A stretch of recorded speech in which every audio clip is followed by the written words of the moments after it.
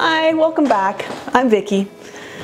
My husband often teases me about quilting. He says all you're doing is taking fabric, you're cutting it up in little pieces, and then you're sewing it back together again. He might have a point, but I tell him as a woodworker, he's tearing down trees, cutting them up, sanding them a bit, putting them back together into furniture. He does mission style furniture, it's his favorite. And, and he does a fabulous job at it. It's gorgeous stuff. And I don't think he'd be very happy if he had to do, say, bar stools. See, because that's his style. And that's the thing with quilting. We all have our own style that we'd like to bring out in our quilts. Along with that, there's some technique, and I'm going to go over one of the most basic techniques, and that's a four patch. And we're going to talk about seams and why they are a quarter inch. You know, it's a good place to start. It's a good foundation to start on. So thank you for joining me again, and uh, let's get at it, okay? And stay to the end for inspiration. Now, when we're talking about seams, why a quarter of an inch? Well, I'm going to show you what happens if it's any smaller than a quarter of an inch. This is done at an eighth of an inch. And uh, this is this is good quilter's fabric, fabric, excuse me there. And what happens is if you have seams that are shorter than a quarter of an inch, you run into this problem where your seams can pull out. And see how that's pulling actually out the threads? And this can be even a bigger problem if you haven't cut your fabric on a, on a, good square. And when you're dealing with smaller pieces, a lot of people don't really think it's necessary, and maybe they might be right, but if you're dealing with a longer strip, you can skew your fabric if it's not square. And how you can tell if it's not square is look, look how easily, whoa, so if you don't have a quarter inch seam and you sewed that pin, you run the risk of it may be good and tight here, the seam, but not here. Okay, we know that a quarter inch seam does the job, but if you want to have wider seams, how does that affect your quilt? Here I have 5 eighths and here I have a quarter of an inch. I'm going to show you a picture up against a window of what visually you can maybe be able to see when you have your quilt all batted up. But I'm also going to show you the difference in fabric that you're going to use. So you actually are wasting fabric by using the bigger seams and quilter's fabric can be pricey. This little bit here adds up over a larger quilt. So sticking to a quarter inch seam is cost effective and it does the job. We're going to talk about a four patch, often used in quilting. And if we went back to the blocks that I talked about last time, here we go. There's a four patch right there. So what it is, is generally four pieces of, well, it is absolutely four pieces of fabric sewn together. And you would, of course, do the right sides together, and you would sew them along like that. And then you'd open them up and sew them together. But in this day and age, with rotary cutters and stuff like that, it's sometimes easier to do what they call strip piecing, where you take strips of fabric, sew them on a seam, and then cut them up so that they look like this. And then you would take these two and you would sew them together like this. And this is where it gets a little trickier. You have something called nested seams, or you're going to try to get something called nested seams. Because when you have nested seams, your quilt will lie flat.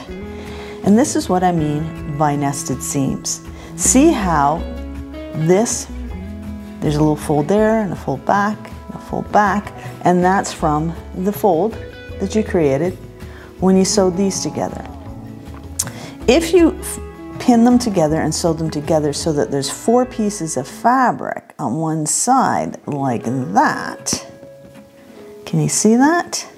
If you were a hand quilter, you'd be cursing yourself because that's a lot of fabric to go through to try, try and quilt through. But then the other thing of it is that it doesn't really lie flat. How you want to make sure that you're going to get the seams nice and tight together so you get a nice sharp seam there. So you're going to take a pin and you're going to put it down into where the seam is. But you're not going to put it straight down because if you put it straight down, when you tip it, you're going to, to pull it back up. See, you're going to knock it out of place by probably about an eighth of an inch. So instead, you're going to butt those seams up. You're going to wiggle them a little bit with your fingers so you can feel it. It's nice and flat. You're going to take it from down here and you're going to bring it up through the seams. And you can feel the seam through the back side so that those are nicely pinned together and then still have it straight across there. Do a nine patch. And what we have here is we're just extending the fact that we have one seam to now that we have two seams that we have to deal with. Very quickly, just like um, with the quarter patch or the four patch, that often it's done with strip piecing. And what you would do here then is you would take two types of strips, one with colors on the outside and one colors on the inside. What you most often will do then is press the seams in two different directions. See here, the middle one is pressed to the outside, and see here, the middle one is pressed, the middle ones are pressed to the inside. So when you cut those up, you end up with two pieces like this, and there's your seams. So when you put those together, when you put those together, and you do your little squishy thing, with your fingers and you put your pins through, you will have really nice nested seams. Okay, and then when you open that up and you get it together and you iron it out, there's your nine patch. So the goal here is, regardless of whether you're doing the four or quarter patch or the nine patch, is that everything is lying nice and flat. You don't have any built up seams. And you have, if you're into precision, you have nice straight lines coming through all your seams. Okay?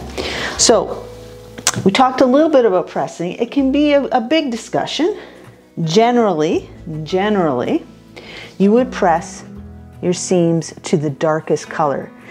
And then when you look, turn it over, you're not going to see a shadow, say, underneath if the seam was pressed to the lighter side. It, there's no perfect way, and there's a lot of discussion over this.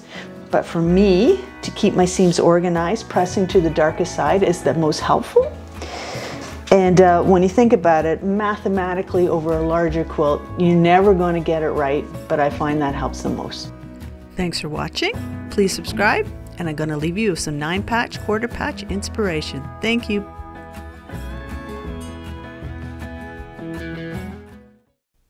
Build your best quilt with Bee Better Quilting. Bye now.